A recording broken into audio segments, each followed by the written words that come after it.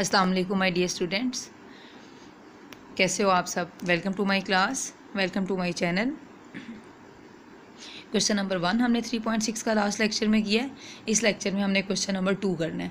Question number two की statement बेटा आपको ये दिखाई दे रही है if A over B equal C over D equal E over F when A B C D E F not equal to zero then show that ये नीचे क्वेश्चन गिवन है। ए ओवर बी इक्वल है square root A square plus C square plus E square over B square plus D square plus F square अब A over B C over D E over F इसको किसके equate करोगे? के के equal करोगे? A over B equal है सी over D equal है ई over F equal है के इसके बाद इन तीनों की सेपरेट हम वैल्यूज़ कंप्यूट करेंगे। किस किस की वैल्यूज़ कंप्यूट करनी है? ए सी एंड ई की। Is it clear A over B किसके इक्वल है? के सी ओवर डी किसके इक्वल है? के ई ओवर एफ़ किसके इक्वल है? के तो बी इधर क्या हो रहा है? डिवाइड उधर जाके क्या हो जाएगा? मल्टीप्लाई तो क्या बन जाएगा? ए की क्या वैल्यू आएगी? B K. सी इधर ही रहेगा डी डिवाइड हो रहा है, उधर जाके क्या हो जाएगा? मल्टीप्लाई तो सी की क्या वैल्यू आएगी? डी के. इसी तरह ई e की क्या वैल्यू आएगी? एफ़ के. आपके पास तीन वैल्यूज़ आ गई ए सी एंड ई की. Is it clear A equal to B K C equal D K E equal F K. Left hand side आपके पास ए ओवर बी है। एक की जगह आपने उसकी वैल्यू जो सी है वो पुट कर देनी है। ए की वैल्यू क्या आती? बी के। अब न्यूमिनेटर और डिनोमिनेटर में बी तो सेम हो गया। तो इसका मतलब है बी क्या हो जाएगा? कैंसिल आउट हो जाएगा और आपके पास लेफ़्ट हैंड साइड का क्या आंसर आ जाएगा? के इज़ इट क्लियर अब राइट हैंड साइड है ए स्केयर ए की जगह आप बी के रखोगे। सी की जगह डी के रखोगे और ई e की जगह एफ़ के रखोगे। उसके बाद आप इनके स्केयर्स क्या कर देंगे? ओपन कर देंगे। ठीक है?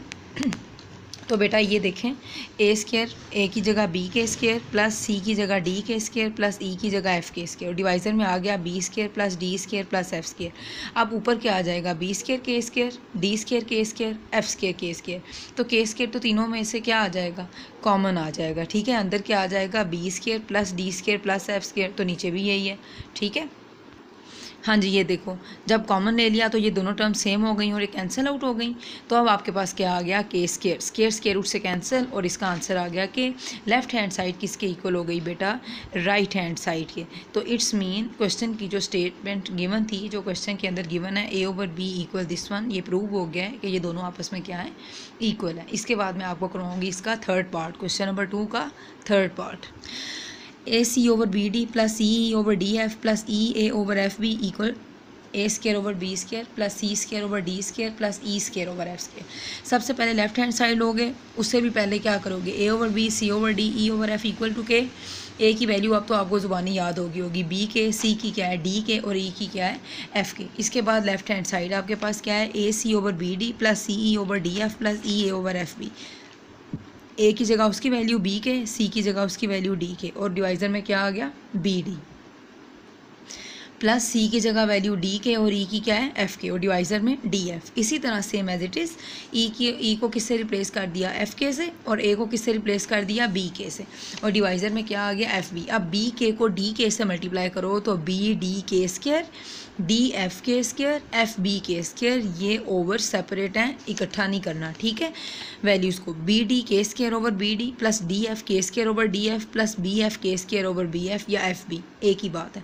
अब जो सेम टर्म्स हैं, वो सारी तो हो गई कैंसिल आउट तो हमारे पास रह गया K square plus K square plus K square अब आपके माइंड में आ रहा होगा कि हम के स्केयर कॉमन भी ले सकते हैं।